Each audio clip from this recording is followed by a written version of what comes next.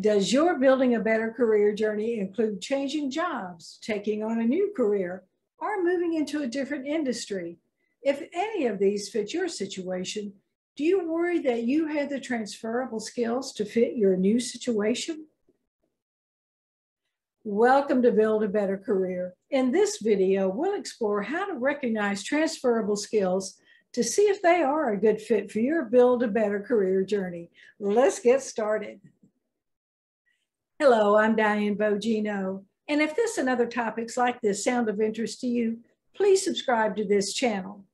Now, according to my research, there are broadly four categories of qualifications in a job, knowledge, hard skills, technical skills, and soft skills. And the top four best skills to have in a changing job market are creativity and critical thinking. Now be sure to see my video on the importance of critical thinking on this channel.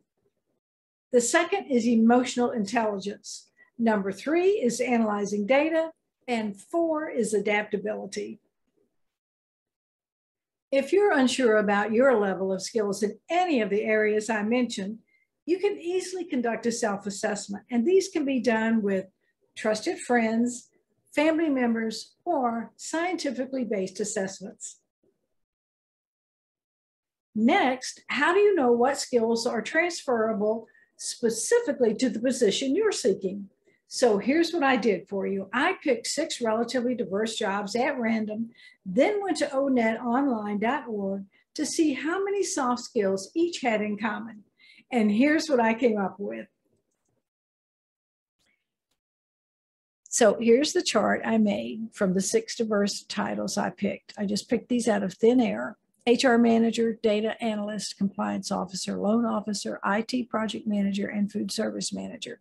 Then I went through the criteria on onetonline.org and just to see what soft skills they might share.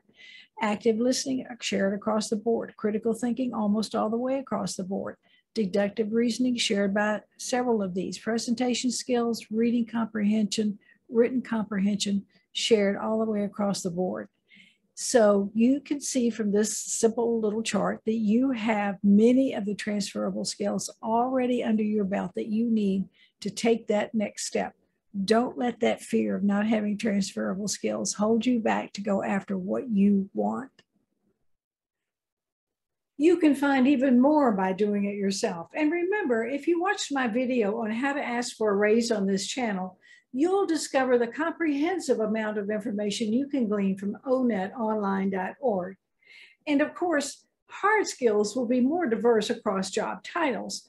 But the point is that you have many transferable skills to make a position job or industry change, and you can easily learn the few hard skills you may lack. Join my Build a Better Career Mastermind group to help you learn how you can use your transferable skills to make the job changes you want and build a better career. Thank you for watching and please support this channel by giving this video a thumbs up and subscribe so you won't miss any of my videos to help you build a better career. Let's get started.